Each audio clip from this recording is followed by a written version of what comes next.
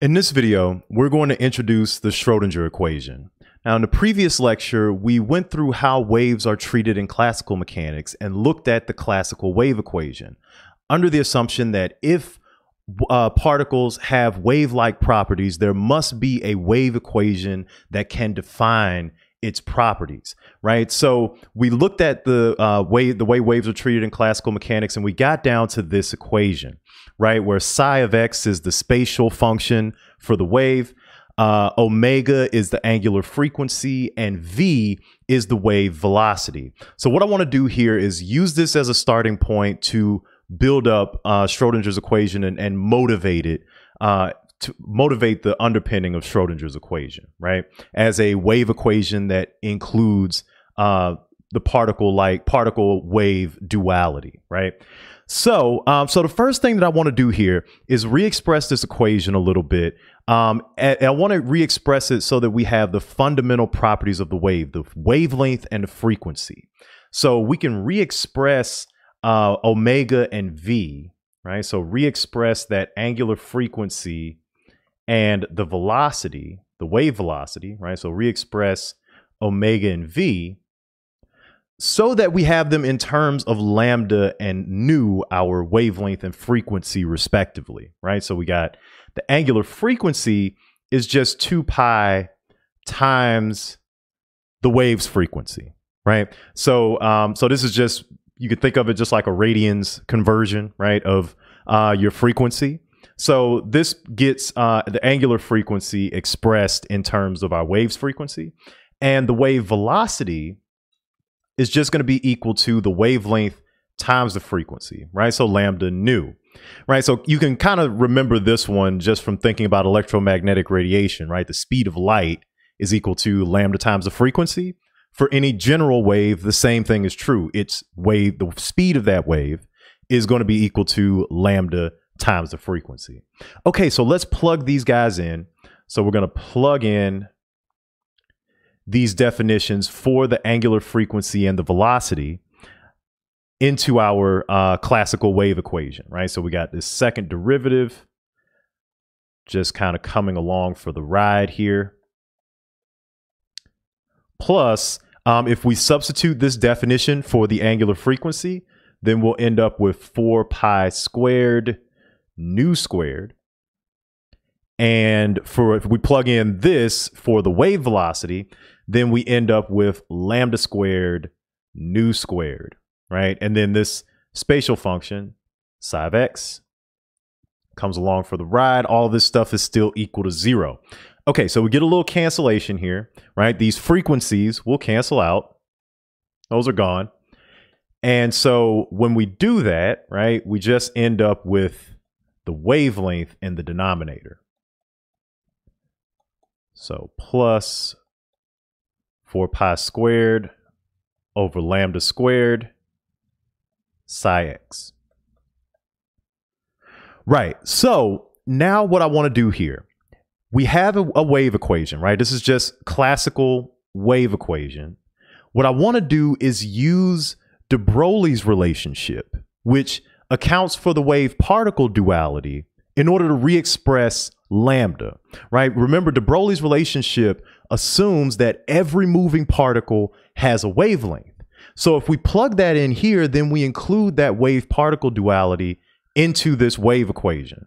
So let's do that, right? So recall de Broglie's relationship.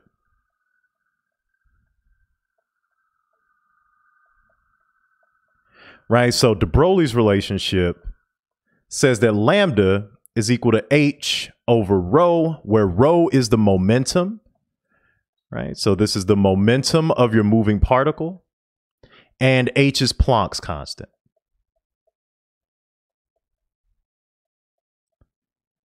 Right, so again, this says that any moving particle, any particle with a momentum rho, is going to have an, in, um, an intrinsic wavelength, right? So if we plug this guy in, right? So let's plug in here. So we plug in the wavelength from the de Broglie relationship, then we get the following, right? So we get the second derivative, again, just coming along for the ride here. Plus, now we'll have 4 pi squared rho squared over uh, h squared times psi of x is equal to zero. Right? So now we have a wave equation that is, you know, built up from classical theory, just a classical wave equation. Now it includes the momentum of a moving particle thanks to the de Broglie relationship, right? So, um, so now we have an equation that intrinsically includes this wave particle duality, right? So this is nice. We have something that includes the motion of a, of a moving uh, quantum particle. However, what we want to do here is build this up so that we can define the energy of that particle. We have this that just defines the motion, great.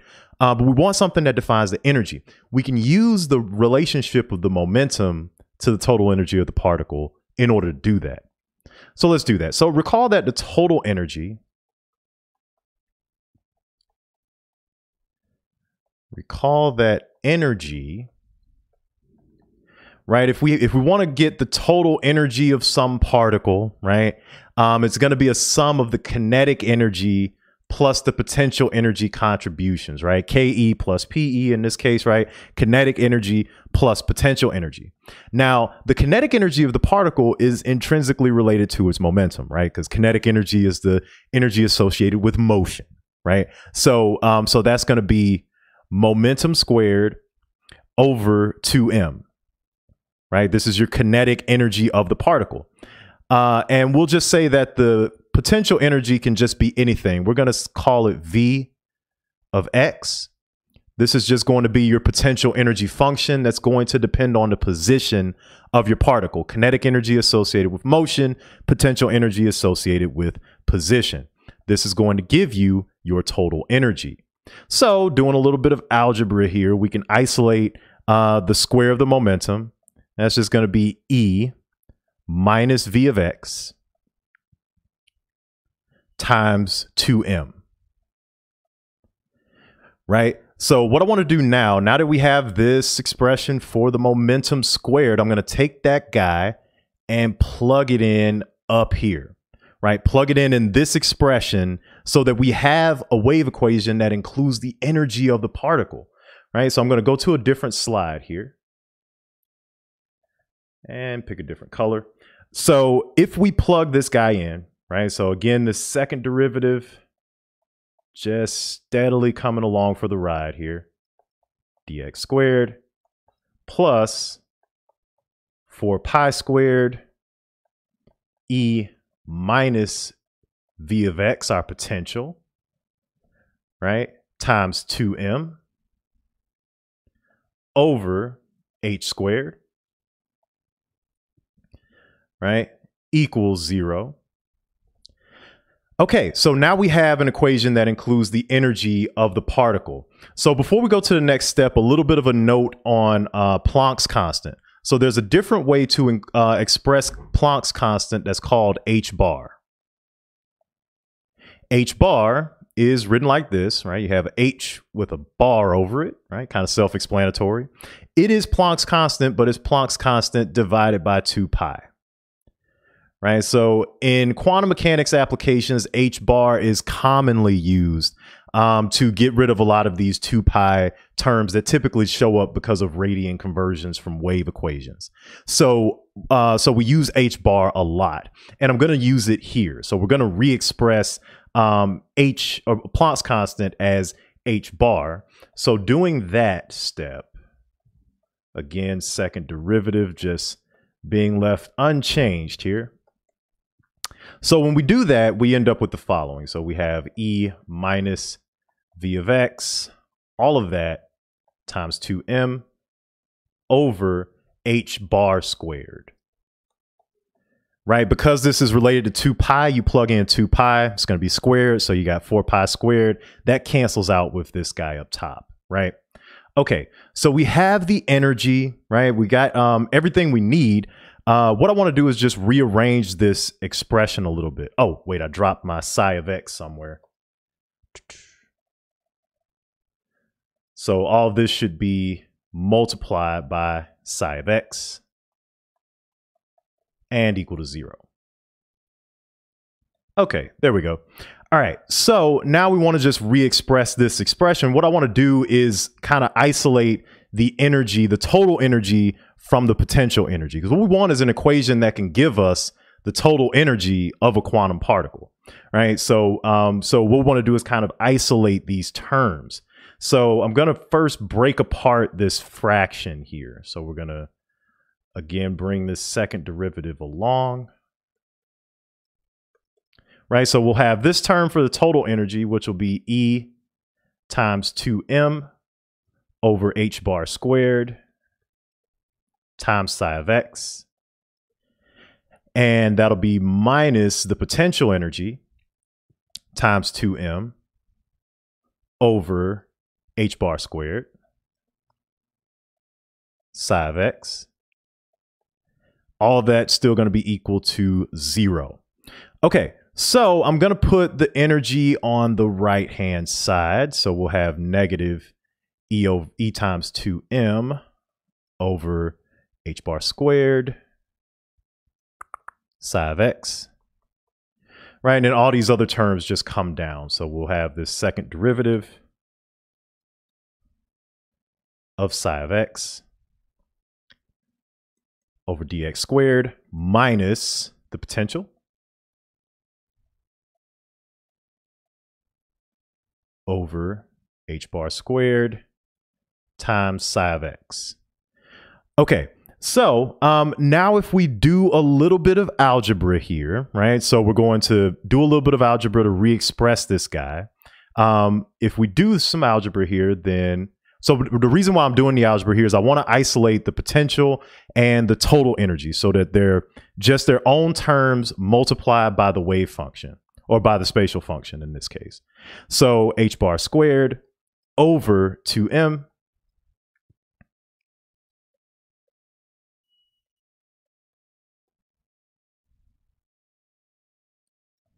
my uh, plus the potential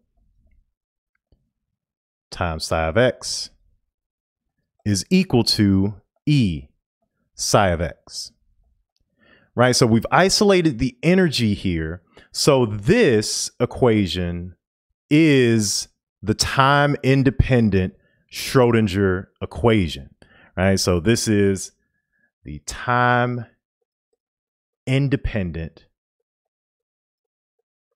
Schrodinger equation.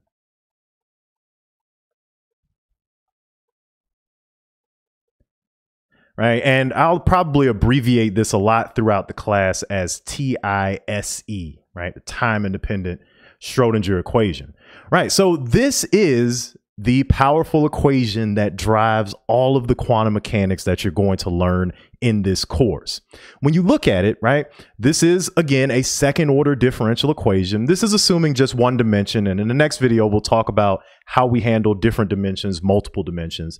Um, but you can break this equation down, right? This term gives you the total energy, right? So that E is related to the total energy of the particle this V of x, this is the potential energy term. So this is the potential energy, right? So this term out front is going to be your kinetic energy term.